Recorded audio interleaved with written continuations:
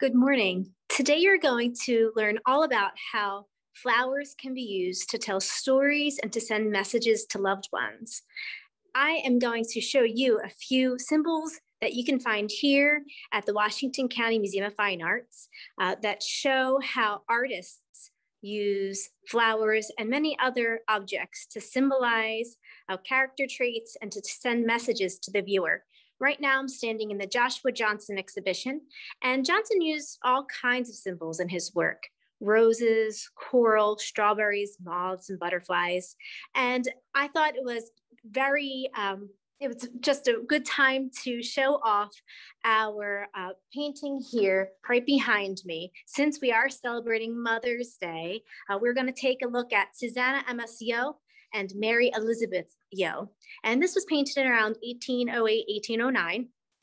And I wanted to draw your attention to something we see here in the painting. We have um, we have Mary uh, has her arm around her daughter Elizabeth. And Elizabeth is holding something in her hand. I don't know if you can see it, but I'm going to zoom in a little bit. And as you look very closely, we see that she is holding some pink roses. She's got five pink roses there. And they are an expression of devotion to, the mom, to her mom, and they're a symbol of graciousness and innocence. So when we see those pink roses, we can think about um, they're a symbol for being uh, innocent. They can be a symbol for being devoted to somebody. And since, of course, she is with her mother, we assume that um, that is an expression of devotion to her mother. So as we walk around the room here, and I will take you around here in a moment, we're going to take a look at another interesting symbol. It might not be flowers, but it's something fun to kind of look at here. Uh, it has some history to it. And when we think about the way that children in this time, uh, their lives are somewhat fragile, uh, we can look at things in a different light, understanding that. We see this young girl in a garden. She's in kind of a natural wild setting, uh, which is different than a lot of these more formal settings. But it's called In the Garden uh, from 1805. And we see that she's pointing to something with her right hand. We see she's pointing to this little moth. And this moth can represent metamorphosis. It can uh, represent a change. It can re represent um, a passing of time. So often uh, Joshua Johnson in his paintings paints children to look as though uh, to, to have things in their arms, a symbol of innocence, but also a symbol of fragility because um, during that time, children didn't live as long, and he had five children of his own. So you could tell it was probably on his mind, something that um, parents would worry about. And as we look around at many of these children, we can see that, and we can see the way that they are with their family members um, gives you a little insight uh, as to their relationship with other family members. So we see this young boy with his father and uh, his hands in, in his father's hand. And this is portrait of Benjamin Franklin Yeo and son Benjamin Franklin Yeo, 1809. So come on down to the Washington County Museum of Fine Arts and see these portraits for yourself and see if you can find, figure out some of the symbolism or uh, what some of the objects represents. Have a great day, and I hope you enjoy Sukey Rankin's uh, presentation on creating flowers with meaning and the language, the secret language of flowers. Hello, I'm Suki Rankin, and we're going to learn how to make some paper flowers today. And each of you have a kit. And when you're finished, this is what you will have. And each flower has a special meaning that you can share with somebody you really care about. It could be mom, grandma, or a very special friend. So let's get started. First thing you're gonna need in your kit, your little flower sign tells you that you're going to need scissors. So whatever pair of scissors you're comfortable with and some glue. So it can either be some tacky glue or Elmer's glue, or it can be a glue stick, whichever you're comfortable with. A lot of times I like to use the white glue and I always pour just a little bit out on a paper or a lid And then I use a toothpick to put it on. Now let's explore what's inside our bag.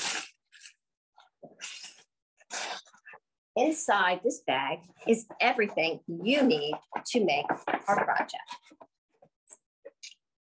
Our paper cone holder is already put together, so it's ready for you to use. And inside there's a piece of Sahara foam, which is used to arrange silk or dried flowers. And we're gonna be poking the flowers in this. Then you have a numbered bag for each project that we're going to do. We have three bags. We're gonna start with bag number one. And in bag number one, you'll see you have a yellow square. In this yellow square, we're gonna make a tulip. And this is our tulip, our yellow tulip. This is what a yellow tulip looks like. Here's one that's not quite open yet, but here's one that's open. And I bet if you look out in your yard, you'll see yellow tulips blooming. So the first thing I want you to do with the yellow tulip is turn the paper so that it's a diamond shape. You want one of the points pointing to your tummy. And then we're going to take the bottom point and fold it up to the top point. It's going to look like a triangle. Then we're going to unfold it. And then we're going to take the side point and we're going to fold it up to the top. So you have another triangle, but when you open it up, it sort of looks like the inside of a kite.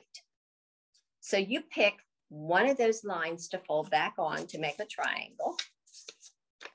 And then what we're going to do is we're going to take the side and we're going to fold it up pointing to the sky like that. It's sort of like a triangle pointing up into the air. And we're going to do the same thing on the other side. When you do origami, which is the art of Japanese paper folding, you usually do whatever you do on one side, you do to the other side. It's pretty symmetrical. Now you have a shape that looks like this.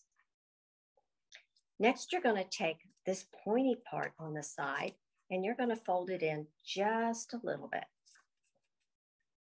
And what you do on one side, you'll do on the other side. And then you can put it down on your table and use your fingernail or your finger to make those creases nice and strong so that they stay flat. So your shape looks like that. Now you're going to turn it over. There's your tulip. And when you make a yellow tulip, it means the smile of sunshine. So who in your life do you think is sunshine? That's who you want to give the yellow tulip to. So we're going to pull out a pipe cleaner out of our bag.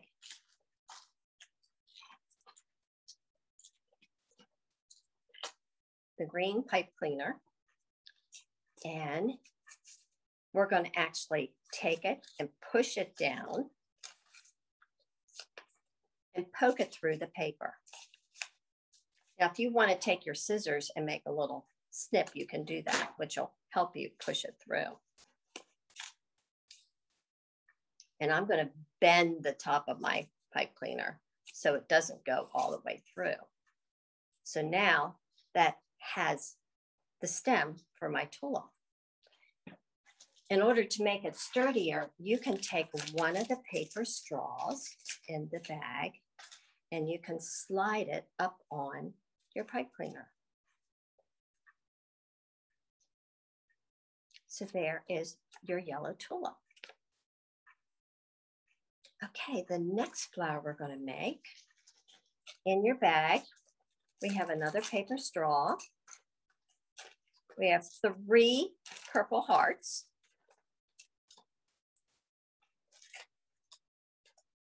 And a bright neon almost like sunburst. What we're gonna make is this flower. And this flower is gonna be our pansy. There are a lot of pansies in people's flower pots right now. Some people call them monkey faces. Can you see how they have that little splash in the middle? Pansies always mean they're very loyal and I'm thinking of you. So whoever you feel you are very loyal to, most likely mom or grandma or special sibling maybe, you might want to give this pansy to. So this is where we're going to take these three hearts. And you can see in my hearts, I have a hole punched in them. And we're going to line those hearts up over the holes, just like that, just to give you an idea. Now, in order for them to stay that way, though, we're going to have to glue. So this is where I will take my glue and I will just take a little bit and I'm going to sort of position it on an angle. And then I'll put a little glue to put the third heart down. So it looks just like that when we're finished. Now I need to put the sunburst on. So I know it's going to go all the way around that hole. So I can put glue all the way around the hole. And it doesn't matter which way you have the sunburst, whatever way you like. So we have that on there.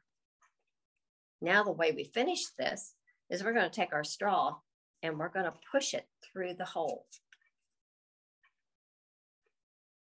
You can push it up as far as you like. And there's your pansy. All right, let's go on to bag number two.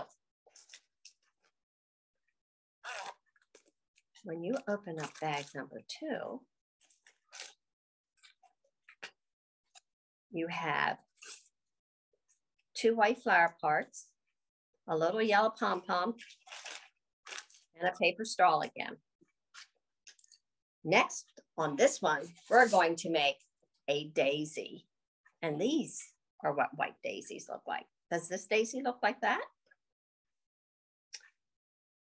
Daisies mean loyalty, loyal love. I'll always be faithful.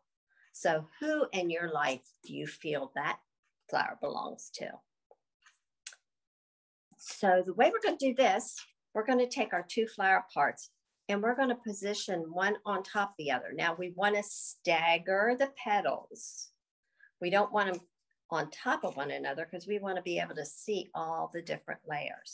So you stagger them in between one another.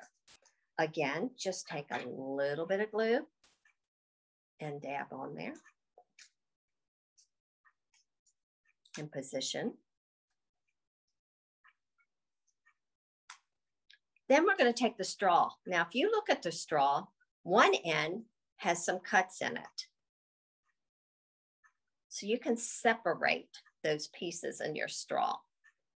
And what you're going to do is you're going to put glue on each one of those little pieces.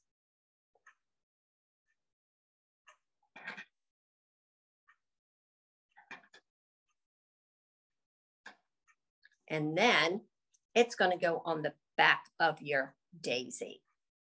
So that's how your daisy is put on the stem.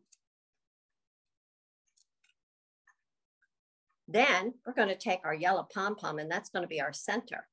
So again, put a little bit of glue in the center and stick on your pom-pom. And now you have your daisy. Faithful love.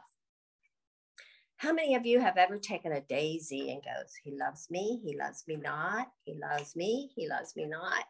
I bet you if you ask your mom, she'll tell you she did that when she was a kid.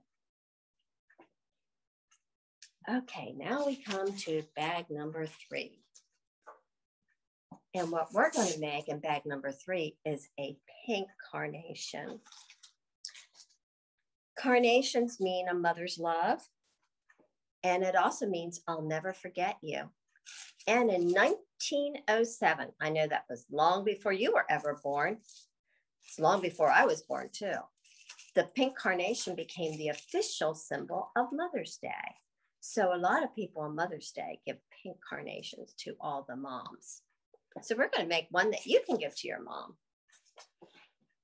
So in your bag, you have several things. You have a bunch of green pipe cleaners. You have a straw. You have an object that looks like this, almost like a butterfly. And then you have another pink piece. What I've done is put a pink piece of tissue paper in here that you can fold to make this shape. But if you'd rather use the one that's already put together, you can do that. But I'm gonna show you how you can start from the very beginning to make this shape. So what we do is we're gonna take our pink tissue paper and at one end, you'll see it's already got a nice fold. That's about a one inch fold. And that's about what you want. We're gonna accordion fold all the way down this piece of paper. So what you do, there's four layers of pink tissue in here, all the same size, and we're folding them all together. So I already have one side folded down. Then I flip my paper over and I fold it that I line it up right with that same fold. Then I flip it over and do the other side. That's what you do when you accordion fold. So we're doing that all the way down the end of the paper.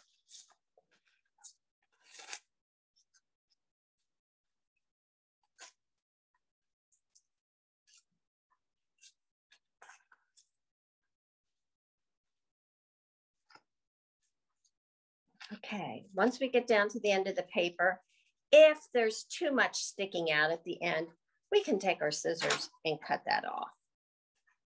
Because sometimes it won't line all the way up. So we have our fold. It's all accordion fold. Now I'm going to take a pipe cleaner. I'm going to sort of fold this in half just to get an idea where the middle is and take my pipe cleaner and fold it around and twist it.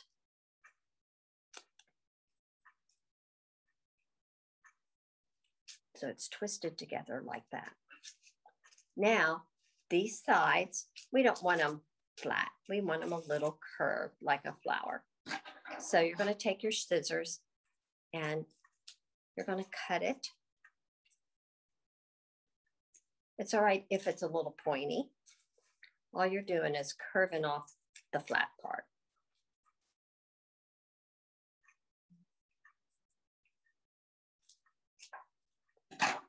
Okay, now this is where the flower part begins.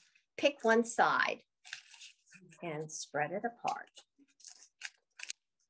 There are four layers, so then you're going to gently start pulling up the top layer of tissue.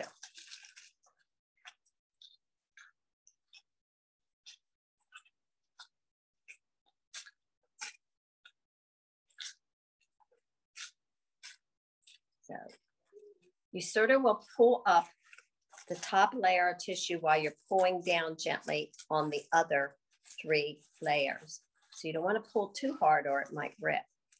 So then you find the next layer and you do the same thing. Gently pull it up while you're sort of tugging on the other bottom layers. Sometimes you might need a little help from mom or some other adult when you're doing this.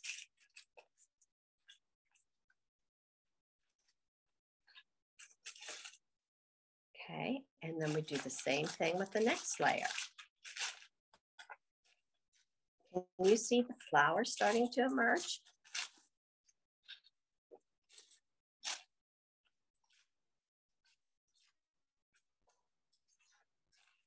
So there's half of our flower. So now we're going to go to the other side and spread the paper apart and do the exact same thing.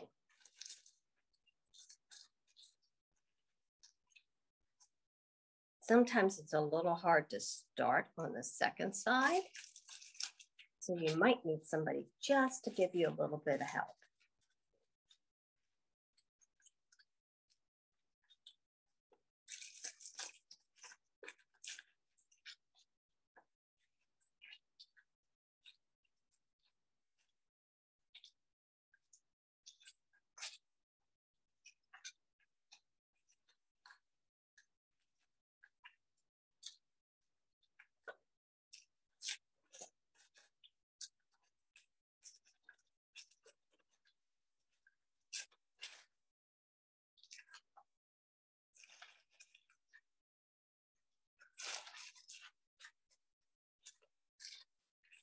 Okay, so we're pulling it up.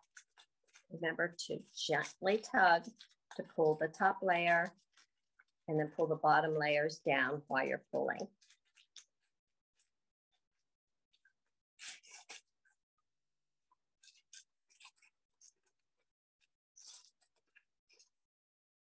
And by the time you get to the last one, you have all these ruffles. Sometimes it's a little hard to find it. So if you're having trouble, please ask somebody to help you.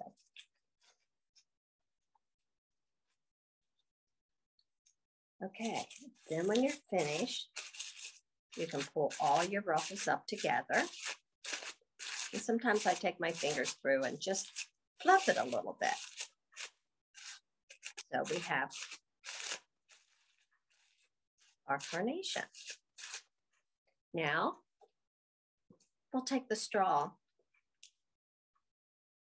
and we're going to poke it up the pipe cleaner. It just makes our stem sturdy. And there's our pink carnation. Now it's time to assemble our flowers into our flower cone. So inside again is that like piece of styrofoam. And whichever flower you want to do first, I'm going to do the carnation. So I'm going to poke the straw into the styrofoam. And then I'll take my daisy. And this the pipe cleaner is sticking out on my um, my pipe cleaner is longer than straw, so I can always cut that off. And I'll stick my tulip in here.